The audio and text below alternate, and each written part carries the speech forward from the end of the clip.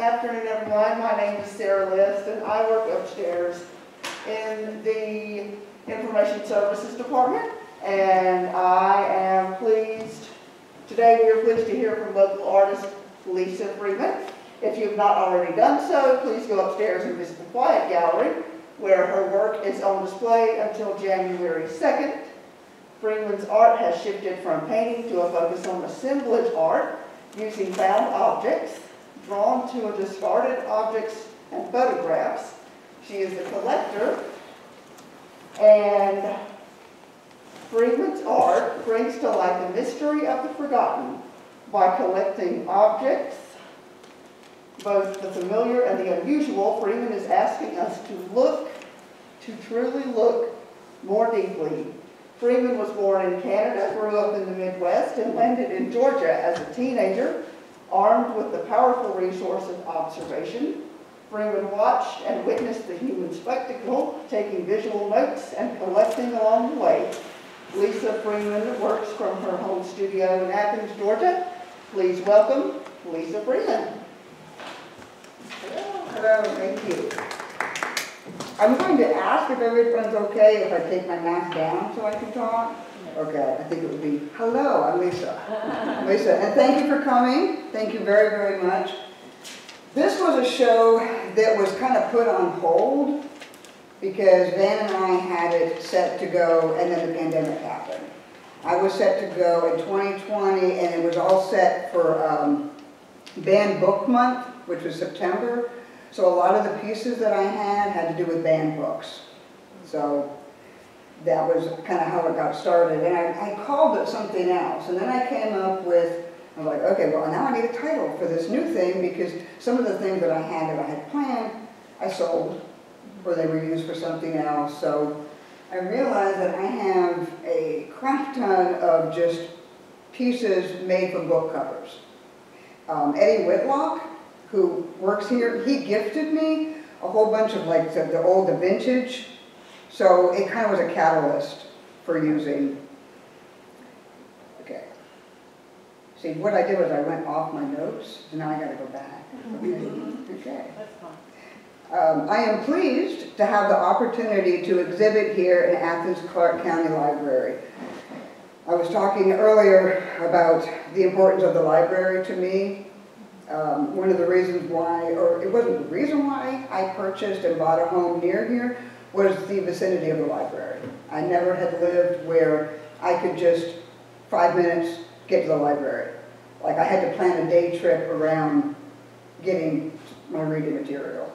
So that was one of the reasons why I moved out here. I like, I got my books. Um, they have always meant many things to me throughout my life. They were a refuge when I was a kid that's where I went. I was a kid that was bullied in school. I can't imagine, but I was. And I would go to the library, and I'd hide in the back, and that's where I found Willy Wonka, and I found the Great Brain series, and Mouse and the Motorcycle, and all of these things that I could just escape to. You know, that's what I did. Um, it's difficult to say which has saved me more times, art or books, or books or art they're both about equal in that they kind of are interchangeable, which was what was cool about doing the show with the book covers. You know, um, I said that. Okay, now we're going to the next one. Oh, there it is. Okay, I got it. Here on out, we got it. Okay. Up here is called The Search, and these are all pieces that are upstairs in the Quiet Gallery. Um, this is made from a book cover. It was called The Time of Man it's just kind of gave you a springboard to make this piece. Um, books are carriers of information and of stories. Humans are storytellers. It's what we've always done to try and make sense of our world, to gain an understanding and our place in it. This piece, The Search, uses as a focal point a photo of a man and a young boy. And I love this one because I couldn't figure out the background of them. I couldn't figure out whether he was a grandpa, a dad, you know, their, their background, their, where they were from or anything. But I just, usually when you find old vintage photos, they don't show background like you'll see a lot of studio photos. And I like the ones that I can find where it shows where people are in their home. And this is what this one did, and they were reading the book. And I was like, well, there we go. Oh, can, can the lights be turned down a little Yeah. bit on the screen? Yeah, yeah, how do we do No, that? overhead Hey, light. tech guy. Oh, whatever. Because you can't really see it, can you? No. Oh, that's much Oh, better. Yeah, there you. Extra colors. And I had a little detail of, I, I'll cut out my little people, and sometimes I'll lose some of the little people I cut out, and I'll find them in my house later, they're like stuck to my shoe or something. But these were photos, and I will just, it takes sometimes uh, up to an hour or two to cut the photos from the vintage photo. But I get really acquainted with the face. It's just kind of like, it's very meditative what I do. But that's one of the, the children that's in it, and they were taken from, it was a school photo. And I just, I found a place to put them. But this one, I kind of, I realized, sometimes I'll realize what a piece is about after I have a chance to look at it. And I realized it was like, the old crow was kind of a metaphor for the older man, and then the little bluebird was a little boy of the future. I felt like, oh, that's that one. And we're going to slide. Okay. This one was called uh, Thoughts in Time, and this one is also upstairs. I already thanked Eddie Whitlock. That says, thank you, Eddie Whitlock, again, if you're watching this video. All of these book covers came from him, and this one I love because it looked like a garden, and then she was sitting in a garden. So it just kind of worked. What I'll do when I work, I'll have a lot of things spread around, and sometimes it takes a long time for one piece to come together. But this one was a lot of fun, and I split it down the front, and I exposed the pages, the possible words that would have been behind it. Of course, these words had nothing to do with the book, all I had was a book cover. But I used those words, and they don't really mean anything except for what the viewer can make out of them. This was, I think, was actually a book on astronomy, and I kind of pieced it together. There's, and then, uh, okay, the photo was actually round, which I just loved. I didn't cut it that way, so the lady's photo was actually, was round like that. It was already a circular photograph, and it just seemed to fit in the middle of the cover. Above her, there's a little round portal, and it has a mirror in it. If you look closely, the word time is placed there. So it's just, it's thoughts in time. I was going for a feeling of passing through the pages of time and what we can gain from that. Wait a minute, what's, okay, this is, that's what I did. Okay, well, this is curtain call. Good Lord. This is curtain call, and it's, I included two miniatures in this particular show. I did, I have done an immense series of these miniatures, and they're three-dimensional assembly sculptures. They actually are on little um, lazy Susans that are adhered to the bottom, and they can be, they're meant to be spun. They can be spun. Um, this was one that was made really early on when I first started doing this. Um, this one is called Curtain Call. It's one of the few pieces where I have used photographs of some of my family members. Usually I use unknown photos of people, and that way I have free reign to do whatever I want to do with them, place them in any situation. This one actually has family members. Um, there is a little boy inside the structure, and he's sitting in the window. If you get a chance to look at it, you can see it by, I, up in the exhibit, I put mirrors behind it so you can maybe see him in there. But he was actually, he's my Nana's older brother, and his name was Carl. Carl died when he was 12 years old, and it always kind of haunted me since I found out about it as a kid. It was my Nana's older brother. It was just, you know, as a kid, you're like, that's, that's messed up. So I used his life narrative that was cut short and the Peter Pan storyline. And there are references inside this structure of Peter Pan. You'll find Peter Pan things. The other children in the piece, I'm going to show you these. Oh, man. That's left. Oh, I have to why do I have to left it. If I'm going, it doesn't matter. You don't have to explain it. Okay, this is a different sides of curtain call. And it shows the different, uh, like this is my grandmother. I took it from an old family photo, and this is, that's my nana peeking through. And Carl, I don't think you can see that, which means you have to go up to the quiet gallery and look inside it. The other children in the piece, um, besides my nana, is there's a little fairy that is my great aunt Neva. She's at the front, which was in the previous photo. But she's up in the little tree, and those are the children. The little boy at the door is from a found photograph of an unknown child. I kind of thought he looked like me, so I put him there as kind of a welcome to a bit of my own family saga. Now that is curtain call. And so I left click, there we go. And this is called A Room of Her Own. This is the other miniature that's upstairs. Um, amongst the sea of constant censorship and challenged ideas, this little girl has found a safe place to express herself. The retreat into the attic is a representation of the place inside ourselves. The inner place that is ours alone, the voice that will not be silenced. Even when we are being chased by demons, the escape is still possible. And that's what this one's about. It's about censorship and still finding a way to, to say what you need to say. This one shows um, there are books that are being burned in the fireplace. This was a really exciting one for me to make because it was like the first miniature that I knew that it had an actual narrative that felt important to me that I started to make. So, um, so the, the titles that are being burned are some of the most frequently banned or challenged books. And in there you can find Huckleberry Finn, Slaughterhouse Five, The Catcher in the Rye, um, I Know Why the Caged Bird Sings.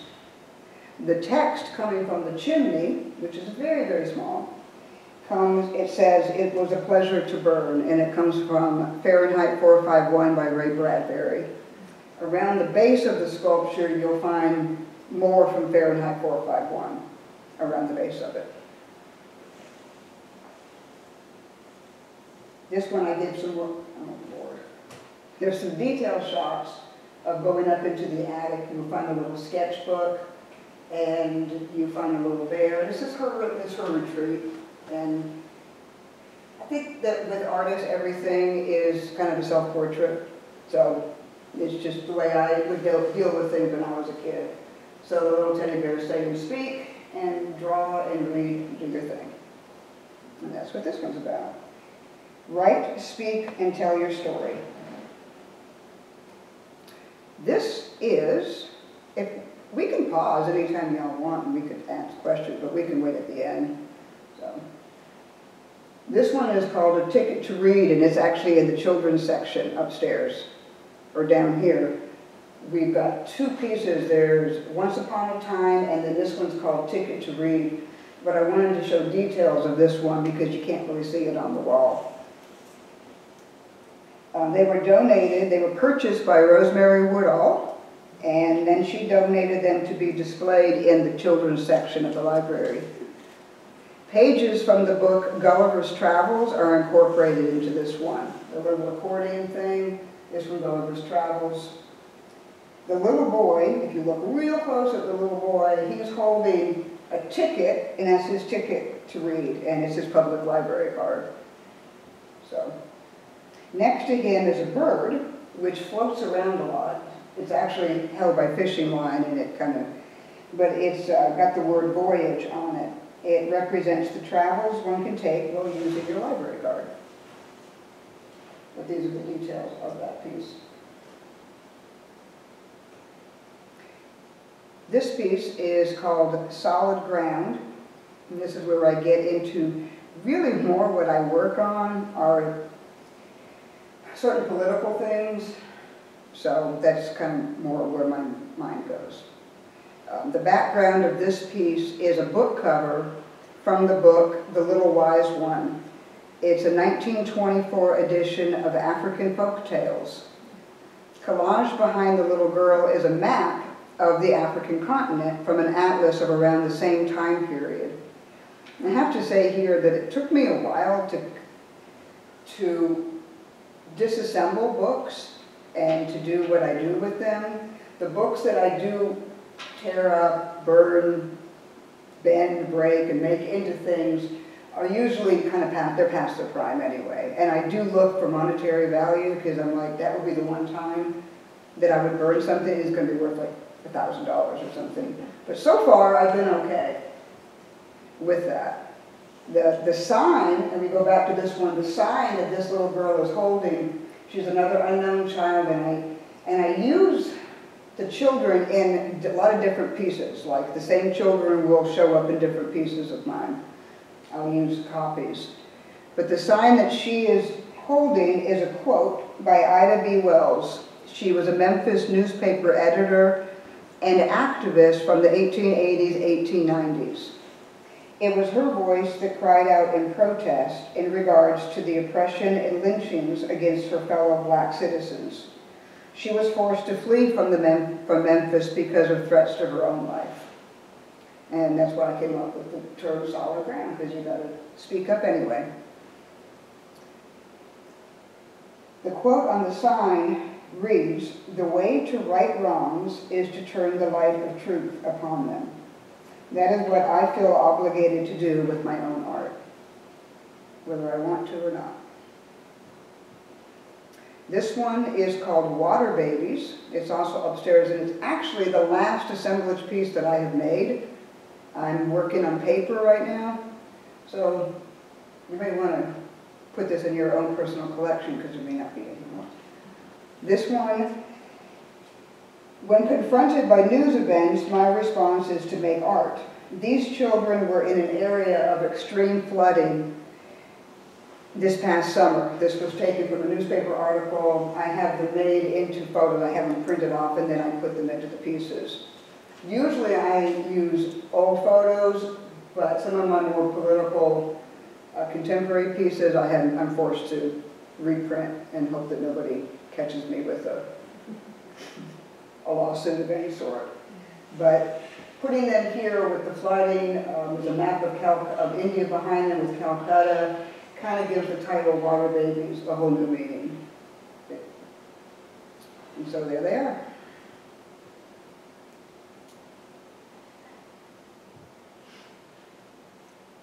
Hey, look at that, I did it. This one is called Measuring Up. I fell in love with the expression on this lady's face. She seemed so sure of herself and so comfortable with who she is. She, she was very self-assured. Only the top half of this photo was intact when I found it, so I was only working with just this top half of the studio photo. And she floated around my studio for I don't know how long. I didn't know what to do with her, but I found a place for her. I placed her in this broken off piece of furniture. I love the solid feel of the wood. It seemed to kind of reflect her skin. The book cover part actually went through a couple different incarnations before I ended up with this finished piece. The Earthrise behind her on the book cover references Maya Angelou's poem, Still I Rise. So that's what I was referencing there. This is my child. This is the child that's upstairs. And it was, it started out as a mannequin that I found at Reed's Odds and Ends in Watkinsville. If you guys go there, Charles Stewart has the place, and he curates, it's a thrift store, but it's more of a museum. The stuff that he brings in, he's very picky. And this was actually was a mannequin from the 20s. It was a little green-eyed Caucasian girl. And I had her bouncing around my house. She wore a John Lennon shirt for a while. I actually had her in the car riding with me because upset my daughter, so I put her in there and rode around with her. Um, but then I had her for a while, and there was, I'm a fan of Yoko Ono, and she did a lot of white pieces. And I was going to just paint the child completely white, but then I realized I wanted to do it just black and white half, and then I did the stool half, so the, where the child perches is half black, half white. Um, As far as what it represents, I'm not entirely sure, that's kind of up to the viewer too. But it's more, I feel like sometimes things are so obvious, it's black and white. And also the text that we read in books are black and white, so it kind of goes with that. The next one, whoops, whoop a daisy. You're still looking at the child. Around the child is a bird cage too. Hey, okay, this is more detail of the child. So this was only a couple weeks ago that I figured out the bird cage when I was first started to do this show. I was going to have like these origami birds uh, floating from, it was a bigger bird cage I had, and they were going to be uh, strung up and going out the windows of the gallery upstairs. It didn't come to pass. But I put them in the bird cage instead, and so they're floating around the little kid. The, but they're from bird, they're from the books that are shown on the stool. So they're all folded from Lord of the Flies, Fahrenheit 451, Harry Potter, and that's what I, I used. The little stool has like three little birds there that are flying. And also, to be fair, one of the reasons why I didn't, this sounds like I'm having an excuse, but one of the reasons why I didn't do the birds fly, flying, because my daughter, I cannot seem to fold the origami bird, so my, my daughter does them, and she had a baby eight months ago, so I didn't want to put that on her. So that's my excuse, and that's the truth. So I didn't ask Nikki to do that, but thank you, Nikki. This, okay, this kind of shows where my work is actually going, or going back to. This one's called Alphabet Blast, and it's got on, you know, my ABCs. It's funny because my daughter, she has a little two-year-old, my other daughter, and we'll sing the ABC song, and they go, next time, won't you sing with me? That's not what I learned. I learned, tell me what you think of me. And she was insistent that that was not how the song went. I found it in an old book, and I said, see, there we go. So I had the, the book. What I did with these was I began taking from sketchbooks, and instead of using photos of people, I used some of my sketchbook drawings, and I put them in these two. There, there were more, I think there were two or three more upstairs, but it kind of, it reflects back to what I'm doing. I've been focusing on drawing and back to my watercolors again. I'm working on paper. Um, one of the reasons that I'm doing it is my life has changed a little bit, and it just really feels good to be moving the pencil again. Because I've been using assemblage and I've been doing object, and I don't know when I'll go back to that. I think I, who knows? If I do, I probably will. I'll probably miss it. But right now I'm doing drawing. And if you follow me on Facebook or Instagram, you will see what I'm doing. This one is one that I remade for this show. It's called Journeys. And I've done a whole series of these window pieces. I like the window frames. Um, because they're just so easy to like put stuff in. This one originally had, they were doors, these were doors, and they're still look like doors, they still are doors, but they open up into a map. And they're a map of where this child was from. Like, like this little girl is, behind her is text from the book Beloved by Toni Morrison, and so I show where that took place. Um, the one above is Hiroshima, took place in Hiroshima.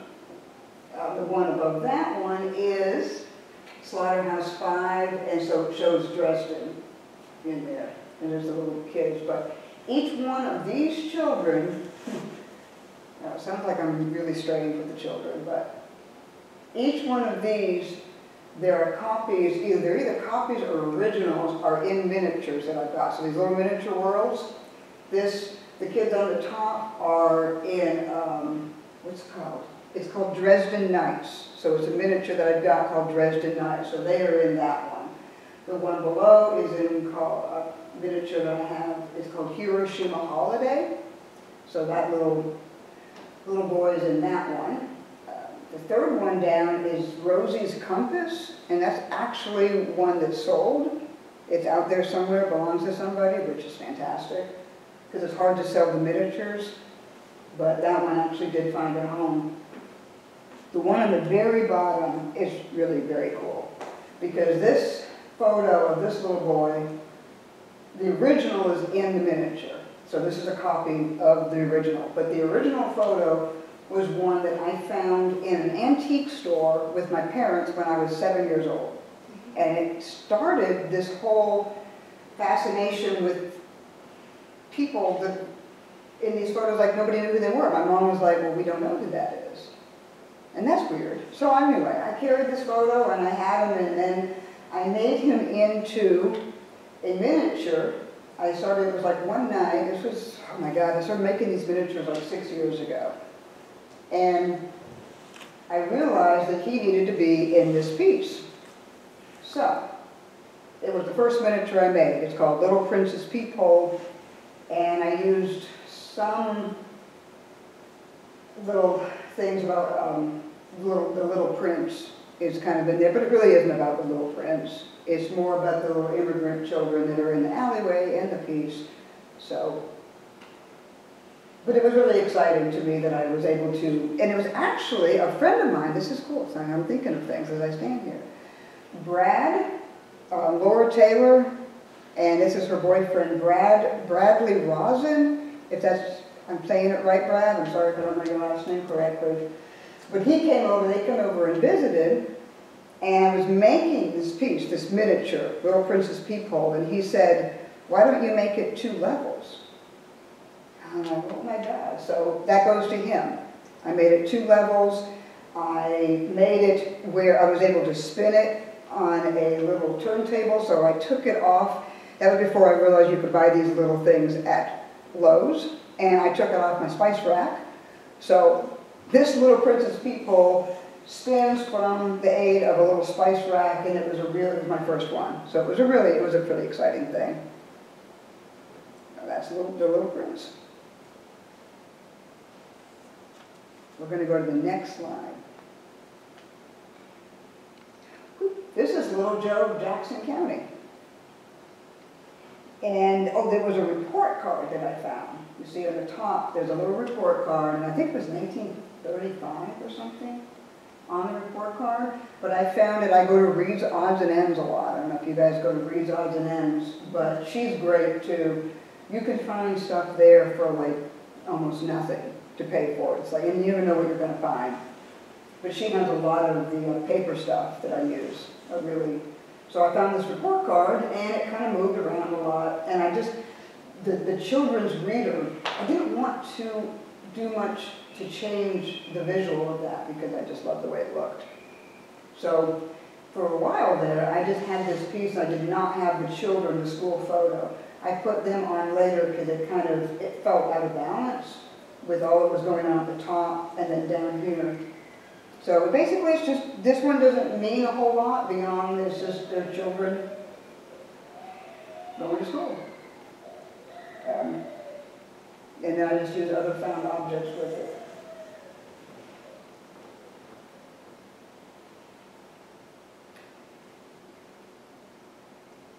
But what I like about my work too is that when I don't see a meaning in it, it doesn't take away from what somebody else might think that it means. Or I think that the viewer actually gives power, they give an additional power to art that the artist cannot do. You know. This one is called Games Played.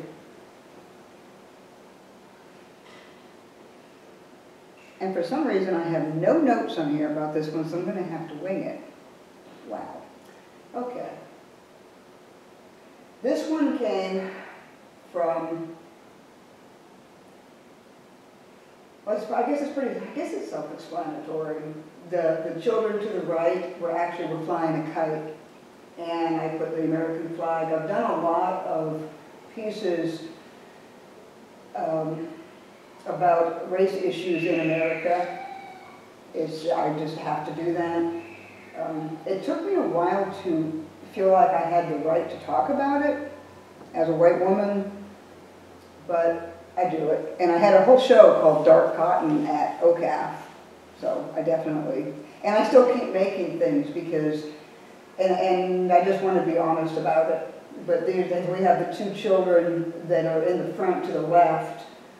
Um, Are they being asked to play, or are they standing, are they, are they invited, are they not invited? It's kind of, it's kind of left there. And then we have the little white picket fence, as if everything is just fine. But we know that things are not always just fine. So that's what that one was kind of about. I had notes with that one, but I don't know what they were. This was cool, because what I did, this is up, this is up in the gallery, and I got to bring things that I have that are not used in pieces yet. So this was, it kind of gives us somewhat of an example of how I work in my studio. I'll put things out, and they move around a lot. Um, Laura Taylor is a friend of mine. She gave, she gifted me a whole bunch of old shoes. And I ended up with this pair of saddle shoes that I had to have when I was five and six years old. Those are the only shoes I would wear. I don't know why, but now I have them, and those are actually Buster Brown's, exactly what I had when I was a kid. And I was just, this is so weird. So they're not actually in a piece now. Some of these are finished. The little clock, the little boy and the clock is, is sort of a finished piece, but the clock is covered with text from Native Son. So that's all covered with that. We have little photo albums and just, the book tip is very important. I found that at Reads Odds and Ends. That is the first book that I remember reading from. It was like, that's when it clicked, except for the only time that words clicked with me was the, um, the hot apple pie at McDonald's, and it said caution, filling may be hot, that clicked. It was like, I was able to like put the words with what I knew it meant, other than the apple pie tip was the one that got me reading. So I found a copy of that at Reads Odds and Ends, and I had to buy it. So I have it in my possession now, even though it's not the exact one. My mom didn't keep a lot of stuff. We moved around a lot when I was a kid, so I didn't really have a lot of these objects. I think that's one of the reasons why I collect a lot of objects. My poor kids, they're so screwed with my house. Kids, they're just gonna have a lot to take care of. But that's gonna be their problem. So that's what, it- that's, kind of gives guys an idea of, and when you look up there, um, it's just so much fun to move stuff around. I mean, it's just, to me, making art is play, and that's what I, it's kind of what I do. Um, The three, the little, see the little, the little traffic things, the little reflector, there's three of those. They actually came from a series of, I think I had six or seven with the children on them, and they're actually pages from Fahrenheit 451 again, and I burned them. So that was fun. I went through this whole phase of burning things, and I have a very, I have a, a way of doing it in the studio, very controlled burn, because one time it wasn't so controlled, and I had a little bit of a fire on the carpet, and that was very exciting. But I don't do that anymore. But that was when I, I actually burned, and I was like, I'm burning a book, this is bizarre. But that's what I did to make those pieces. And then there's also, uh, there's two finished pieces in here. There's the little um, sister and brother, it's a little tiny house. Um, and I did a whole bunch of these little tiny house out of small boxes and with the red roof, and I did a whole series of these, and I was just selling them at some of the little crafts shows that we have. I sold a few, I sold a few, but they all didn't find homes, and I have so much stuff in my house. So what I did was, it was like over the spring and summer, we had a, a Free Art Friday that you do on Instagram, hashtag Free Art Friday. These were gifted all around town. So now I have two of these left. I have one that was my favorite at home, and then there's this one that is up in the, up in the gallery. So those are the only two that I know where they are now. So that's kind of cool.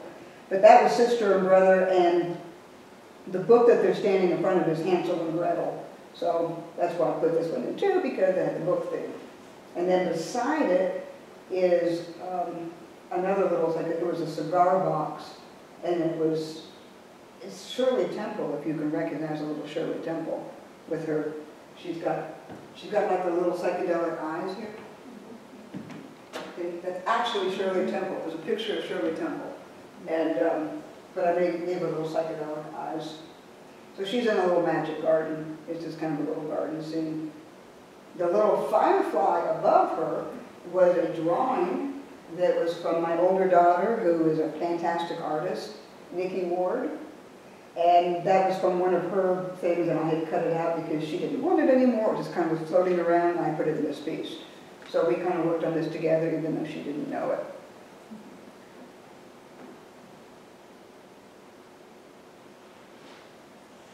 And the title of that one is called By and By, simply because I couldn't think of another title. So it's just what it is.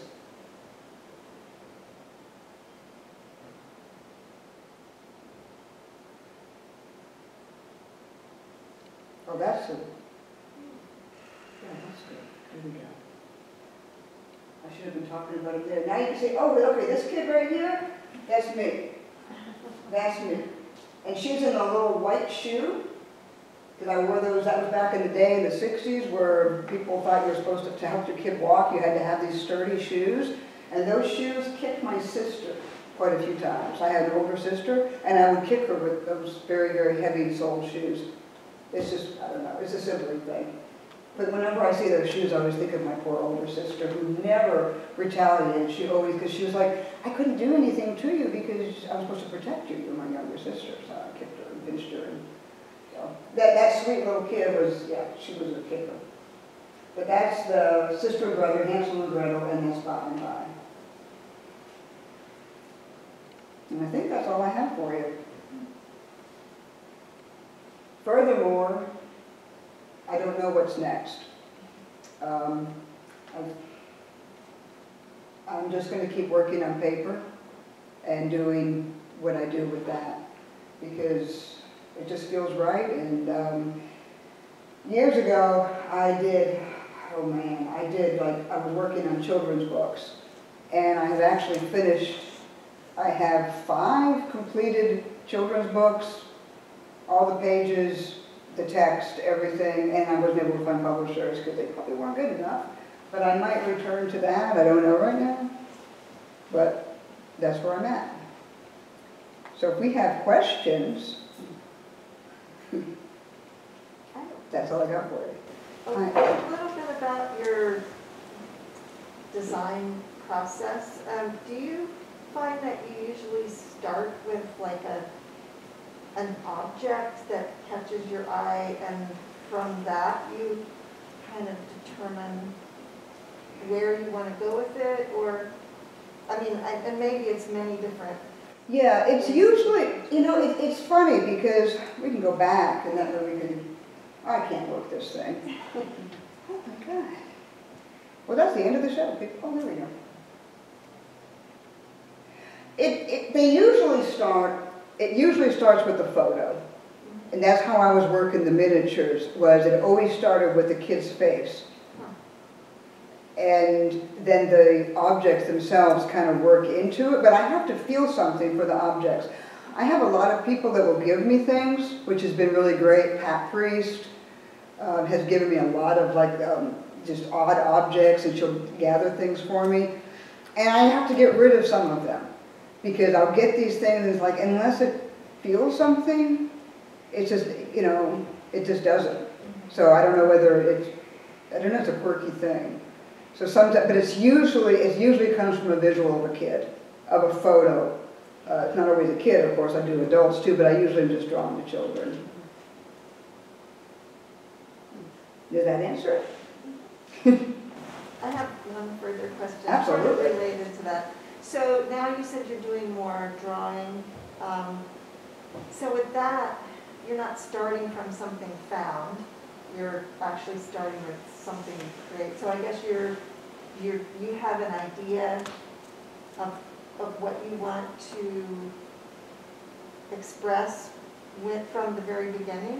When I'm when I'm doing the drawings, do I have an idea of what the drawing's going to be expressing? Yeah, just, I'm, I'm Hmm. trying to say, say, sort of in contrast to the found object work. Right. And, and. You know, it's harder. Uh-huh. It's harder because I'm starting out with literally like a blank piece of paper. Yeah. And it, it has been uh more of a challenge for me because I don't have that catalyst to, but I have a lot of things in the house that I'll, that I'll, I'll view, but it is really different. And it is, it is harder, and I'm only now, like, kind of figuring out what I'm doing. I've been doing it since, oh my God, I think it was like May that I started, I went back to paper. It was after my daughter moved in with my little grandson, and he's two, so he takes up a lot of space in the house. So I moved my workspace to accommodate that, and that's where I kind of went back to paper too. But usually the, when I, when I do them, I don't know what they're going to be. I, I, I kind of, I have to leave it open to, to let it kind of become something. And, and it is harder with paper. So I always, you just do pencil, and then it's like, then you go to the, the ink part, and then you're kind of like, well, there's not a whole much more adding I can do. So it is more limiting. It is more, I think I need to do more pre-planning, but I think it takes away from the spontaneity too. Mm-hmm. Where with objects, like, even if you don't like what you've got, you can rip them off, and I can start over, or I can set it on fire, or whatever. Mm-hmm. But with paper, it's, it's, I have a lot, I have a lot more respect for people that do that. I, I used to do painting, and I never used oil, because that just takes too long. I'm very kind of impatient, so I always used acrylic, and you could just, there were like paintings, I don't know how many layers of paintings underneath, because you could always gesso over mm-hmm. and continue on. But I could make, I could change my mind. And with ink, pen and ink and watercolor, you can't change your mind the same. So it's, it's, it's slowed me down a lot, but I think it's a good thing. You know, because I need to slow down and consider things a little bit more. I'm getting old. Yes, I think that what you do is very brave. thank you. Um, it's really hard to permit yourself to express negative ideas and negative feelings Mhm. in art. And it's, it's scary to me. Is it, is it scary to you, especially when you go back into your own, your own past and your own feelings? Yeah, it is, that's why I held back from doing some subjects for so long. I, I didn't want to, I wasn't sure whether I could handle what people may say to me, or what they would say about the work, or, or, you know, confrontation. But I, I realized that it was scarier for me to not speak up, to, to just keep it silent. Um, I recently did a, it was a window piece of lynching victims. And I've done this before where I had them in a show where it showed the crowd of people who were either viewers, were there, perpetrators, what have you. And so they were in the picture, but I finally, I did drawings of the victims. I have a book and I researched it. And so I did these pen and ink drawings and then I cut them out and I hung them in the window piece. And it took, it took like a lot of different steps. And when I was doing the drawings of them, they were, they were done very quickly for me, but it was almost as if I just took a breath and I didn't let out until they were done. And I had to just, I had to do that. So it was scarier for me not to do it, Yeah. Yeah. Yeah. But I don't know, that one's never been on display. It's hard sometimes for, it's not sometimes, it's really hard for me to find places to exhibit. yeah. Um, I've had, I've, I've been able, I've been lucky though, over the last year, 2020, where my stuff actually traveled, where we weren't able to travel, or I couldn't travel. I had a piece go to a show in DC. If, um, I had one go to Chicago, I had one go to upstate New York. So the pieces are getting out there. You know, um, there is a place for some of the more difficult subjects, but it isn't, it's harder, I guess, in my own town. And I think that maybe is part of it. It is hard for people to go, well, what do I do with that? You know? But I do it anyway. Well, I appreciate that. Pardon me? I appreciate that. Well, thank you. And I, I'm, I'm glad. It's encouraging.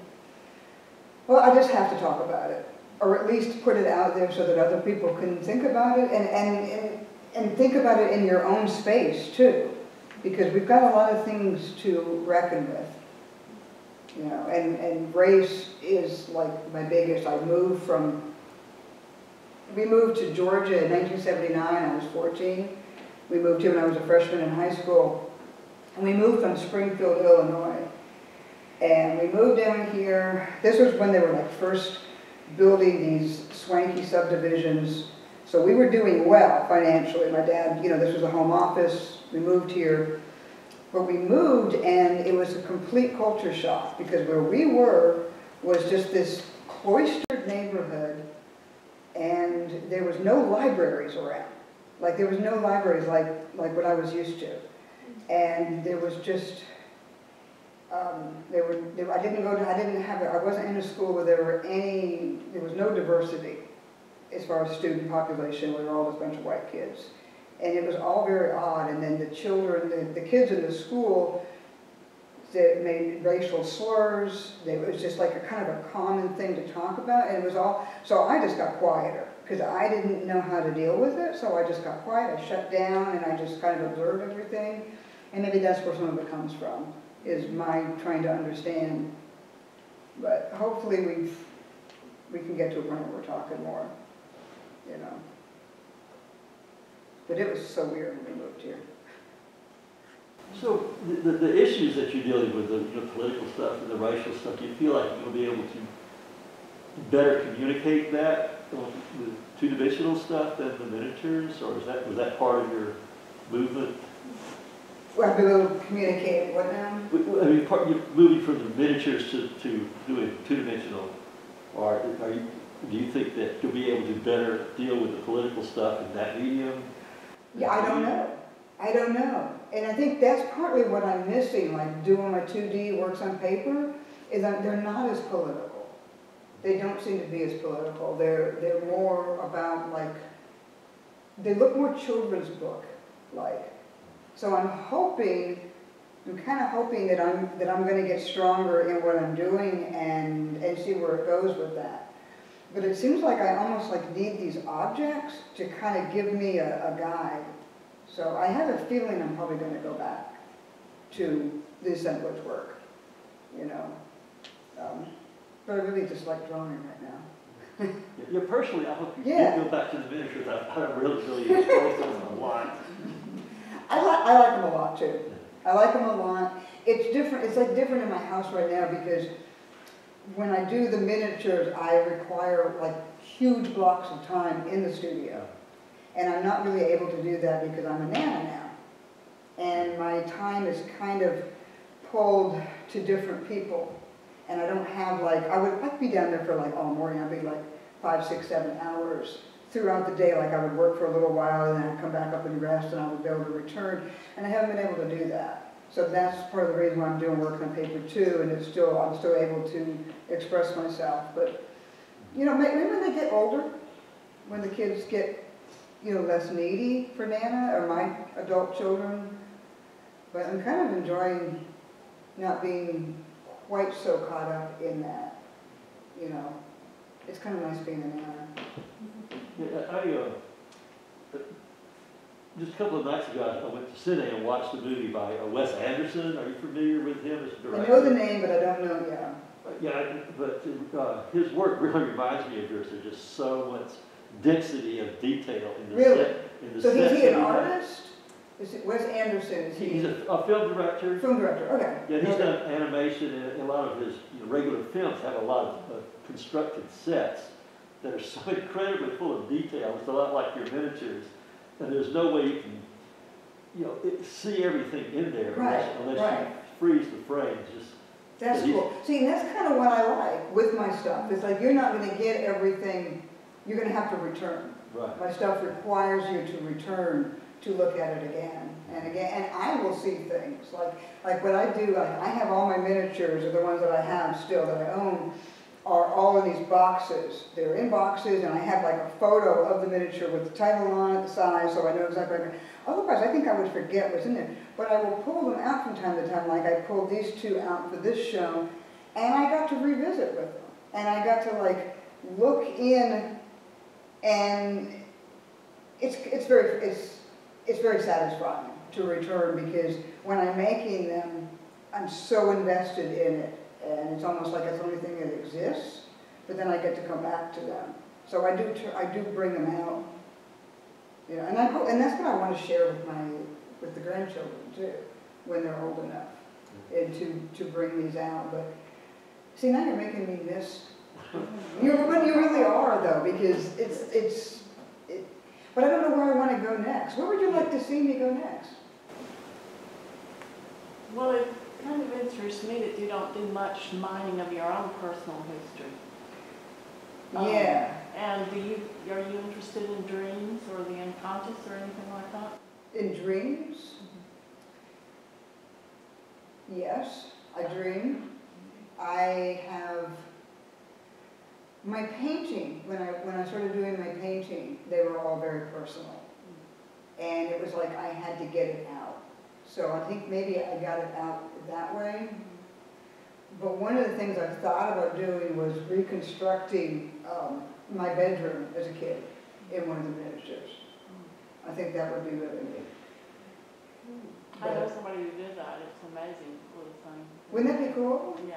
'Cause I can remember- Down to the wallpaper and everything. Yeah, yeah, but, but see, uh-huh. but see, one of the reasons why we steer clear of that, and like my miniatures don't really replicate any real, completely real world, because then it ties me to making sure I, I gotta get it a certain way. And I like it to be more free-form and, because with, if, if it's something that's taken completely from life, then I have to get it right. And, and I think I, it would- it could bind, it could kind of bring me down. Does that make sense? Because I know I would have to get it exactly the way it was, and I wouldn't be able to do it. I don't know, I, see, I'm, I'm dealing with, I inherited, um, hundreds of years of history Hmm. from my family and all this stuff, and, and I'm learning so much about these people, their mystery by Yeah, delving into the objects and figuring out what that object meant to them. Yeah, see, I have, see, and none of my, fa- my dad is, oh, it was funny, because I have old family heirlooms or things that my, my great-grandmother had. I would never use that in a, in a, in a piece. No? Mm-mm. I mm. don't, I don't think, I don't think, because I know where it was, I know who had it, and it's a family piece, and that's why I like to use objects that come from, I don't know, people I don't know. Mm. So, because my dad was always like, you're not gonna, you're not gonna break that and put it in, and he's like, no, I'm not dad. But I might, ten years from now, I don't know, you can't really promise it.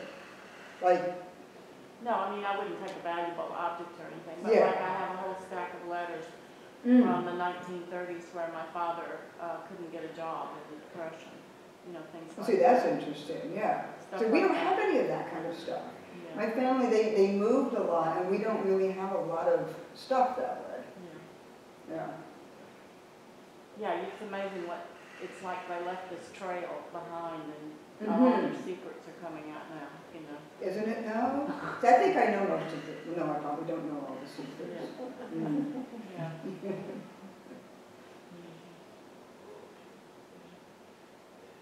Well, if there aren't any more questions, there are, I don't know, I really appreciate everybody coming. Oh, I really wait to do. see that exhibition. And, uh, yeah, check it out, and I can go up there with you, and we can talk if you- all want to. And, um, yeah, and check out my stuff online, like I'm on Instagram and I'm on Facebook. And I have a website, it's not kept up to date as much as the, because I don't understand how to do it. My son was like, it's really easy, and I don't understand. I couldn't even like forward the things here, so, anyway. Hmm. Check out, if you're interested in what I do, it's gonna be more social media, you know, that's where I update. I don't do social media. Oh, well, well, then go to the website. Yeah. Okay, well, thank you. Oh, thank you very much. Thank you, thank you. Yeah, Thank you, library. yeah, library's the greatest thing to go, right? Isn't it though? Mhm. Truly. Truly, and bookstores after that. Yeah, that too. And the little free libraries, I have a little free library in my neighborhood that I, ah, that I keep stocked up. I'm a very serious steward of the little free library.